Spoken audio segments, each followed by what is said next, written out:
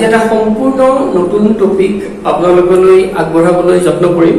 সেইটো হ'ল vocational education বৃত্তিমূলক শিক্ষা। বৃত্তিমূলক শিক্ষানো কি? হাতে কামে কৰা শিক্ষা যিটো। হাতে কামে কৰা শিক্ষা মানে আমাৰ প্ৰেক্টিকেলি যিটো আমি শিকিম সেইটো হ'ল বৃত্তিমূলক শিক্ষা। আমাৰ তাৰ সহায়ত বৃত্তিমূলক শিক্ষা মানে যাৰ সহায়ত আমি কি কৰিব পাৰো? এটা নিৰ্দিষ্ট কোনোবা এটা বৃত্তিত নিয়োজিত হোৱাত সহায় কৰে। সেইটোৱে হ'ল আমাৰ বৃত্তিমূলক শিক্ষা।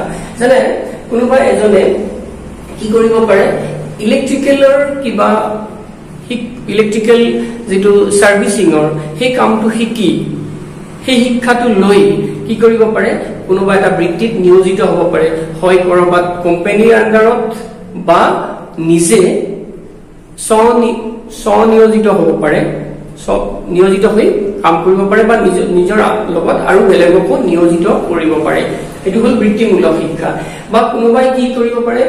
কম্পিউটাৰ বা তেনেকুৱা ইলেক্ট্ৰনিক্স ৰিপেয়াৰিঙৰ ওপৰত কৰ্চ লৈ কি কৰিব পাৰে? শিকি সেইটো সেইটো বৃত্তিৰ ওপৰত সেইটো শিকি হাতে কামে শিকি কি কৰিব পাৰে?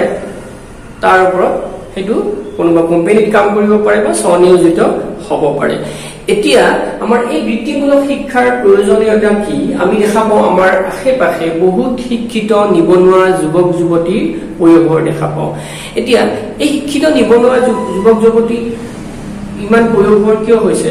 কোনো চৰকাৰে চৰকাৰে কি কৰিব নোৱাৰে? আটাইবোৰ শিক্ষিত নিবনুৱা যুৱক যুৱতীক চাকৰিত মকৰণ চৰকাৰী চাকৰিত মকৰণ কৰাটো সম্ভৱপৰ নহয়।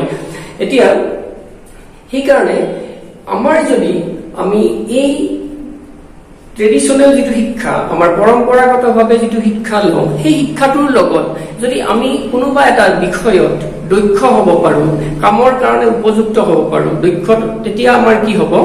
আমি আমি পঢ়া শুনা কৰা শেষ কৰাৰ পিছতো আমি কোনোবা এটা কামত কাৰণে উপযুক্ত হ'ম আৰু সেই কামত নিয়োজিত হৈ আমি উপাৰ্জনৰ পথ বিচাৰিব পাৰিম।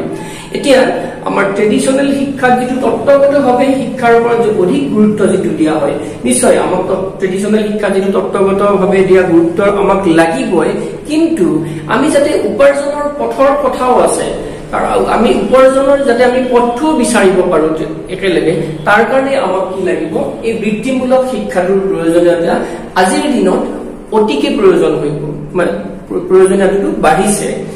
এতিয়া এই আগতে আছিল কি ভোকেশ্যনেল এডুকেশ্যন এই ভোকেশ্যনেল এডুকেশ্যন বিলাক কোনে কেনেকে দিয়া হয়? কোনোবা প্ৰাইভেট ইনষ্টিটিউট বা কোনোবা বা গভমেণ্টে কি দিছিল? এটা বা এতিয়াও দি আছে এটা কি কৰে? ল'ৰাজন বা ছোৱালীজনীক এটা এটা বয়সৰ পিছত এইখিনি ট্ৰেইনিং দিছে। উপযুক্ত ট্ৰেইনিং দিয়াৰ পিছত প্ৰশিক্ষণ দিয়াৰ পিছত কোনোবা এটা কামত নিয়োজিত হোৱাৰ কাৰণে কি হয়? উপযুক্ত হৈ পৰে। সেইটো হ'ল ভোকেশ্যনেল এডুকেশ্যন আৰু কিন্তু এতিয়া ভাৰত চৰকাৰে গুৰুত্ব দিছে ভোকেশ্যনেলাইজেশ্যন অফ এডুকেশ্যনৰ ওপৰত গুৰুত্ব দিছে। ভোকেশ্যনেলাইজেশ্যন অফ এডুকেশ্যনৰ ওপৰত গুৰুত্ব দিছে।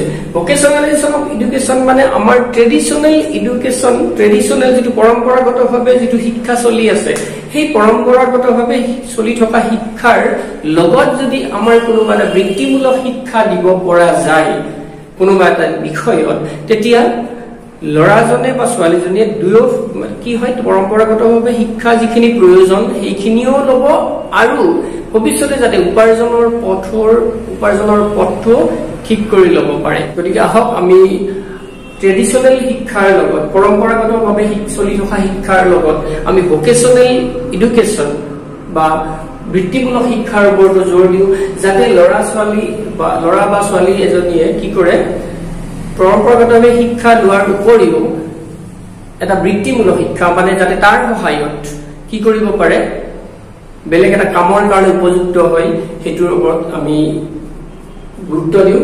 আৰু আমাৰ বহুতৰ ধাৰণা কি হয় আমাৰ ল'ৰা ছোৱালীক চবকে আটাইকে ডক্তৰ ইঞ্জিনিয়াৰে কৰিম। আমি বেলেগ আৰু কৰিব নিবিচাৰো।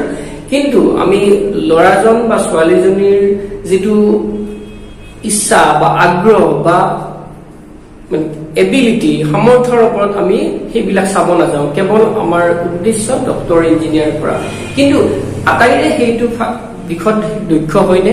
সেইটো সিমানখিনি সামৰ্থ্য আছেনে?